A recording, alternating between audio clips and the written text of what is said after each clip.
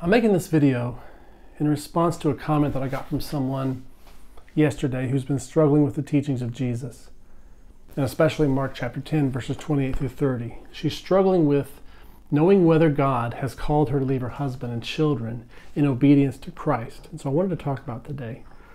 First, I want to read that verse. Peter said to him, We've left everything to follow you. I tell you the truth, Jesus replied.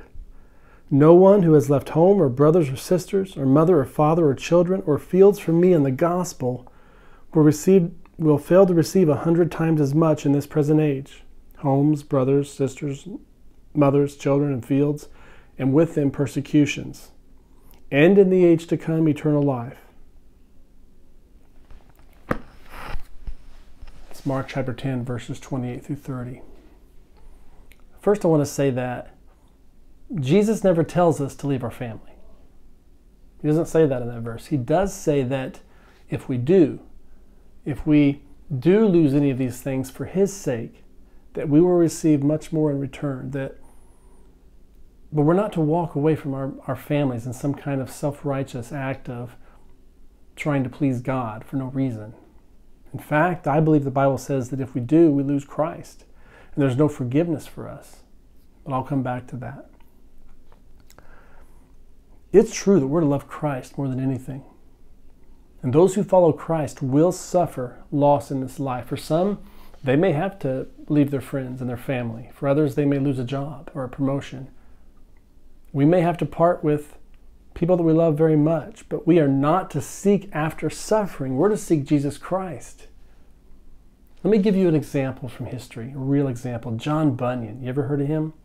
He lived in London in the 17th century. He was called to preach the gospel.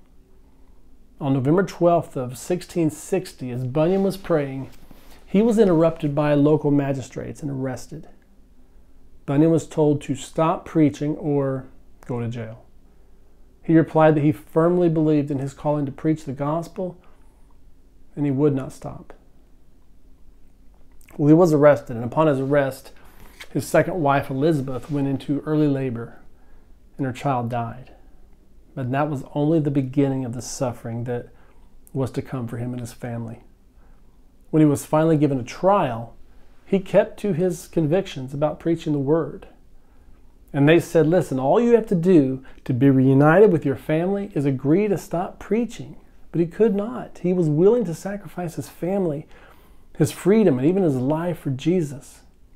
Bunyan refused to give up his calling to preach the truth of the gospel to the world, as we are all called to do. Even so, the pain that he experienced was tremendous. He wrote the following while in prison and really shows you what he was going through. It says, The parting with my wife and poor children has often been to me in this place as the pulling of my flesh from my bones. Also, because I should have brought to my mind the many hardships, miseries, and wants that my poor family was like to meet with should I be taken from them, especially my poor blind child Mary, who lays nearer to my heart than all I had besides. Oh, the thoughts of the hardships I thought my blind one might go under would break my heart to pieces. In the story of John Bunyan, we also have an example of what Jesus meant when he said that we'll receive a hundred times as much in this present age. You see, for Bunyan, it was also during his suffering that he experienced the greatest joy and that his soul was awakened to a fellowship with Christ that he had never known before. He wrote this He said, I've never had in all my life so great an inlet into the Word of God as now. Those scriptures that I saw nothing in before are now made to shine upon me. Sometimes I have been in the Savior, savor of them and I've been able to laugh at destruction and to fear neither the horse nor his rider. I have had sweet insights of the forgiveness of my sins in this place and of my being with Jesus in another world. He found true joy in that tremendous suffering. So know that if you are called to suffer, to leave your family, that God will give grace. He'll give grace in this life when we obey Christ. But as I said before, we are not called to walk away from family simply out of some stupid act of self righteous or pretend obedience for the sake of doing that in and of itself. The Bible says that anyone who does not provide for their own family is worse than an unbeliever. Obedience comes out of our love for God. It's not the other way around.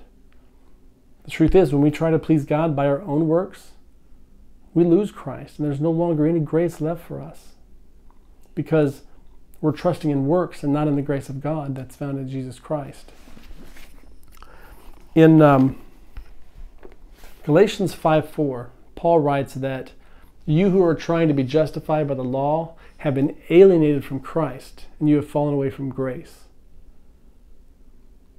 He is saying that the moment we start to try and please God by our obedience to the law in the moment, we lose Christ. It's in that moment that there's no longer any grace left to cover our sins. Now, I know that Paul was talking about the Old Testament law, the old rules, but the theological concept still applies. I want to read you that verse in context of, of the chapter. Um, Galatians 5 4. It is for freedom that Christ has set us free. Stand firm then, and do not let yourselves be burdened again by a yoke of slavery. Mark my words, I, Paul, tell you that if you let yourselves be circumcised, Christ will be of no value to you at all. Again, I declare to every man who lets himself be circumcised that he is obligated to obey the whole law. You are trying to be justified by law, have been alienated from Christ. You have fallen away from grace. But by faith we eagerly await, through the Spirit, the righteousness for which we hope. For in Christ Jesus, neither circumcision nor uncircumcision has any value. The only thing that counts is faith expressing itself through love. You see, when we obey Christ out of love for Him and not because we're trying to work up some sort of brownie points or something, when we obey Christ because we love Him, when we preach the gospel because we love Him, that is when the heavens open for us. And we will suffer when we do that. We will experience loss.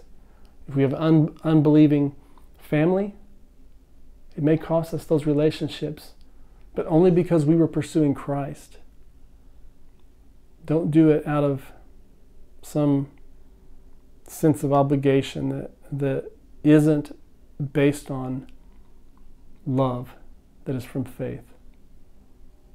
Express your love or your faith through love, and God will take care of the rest. Amen.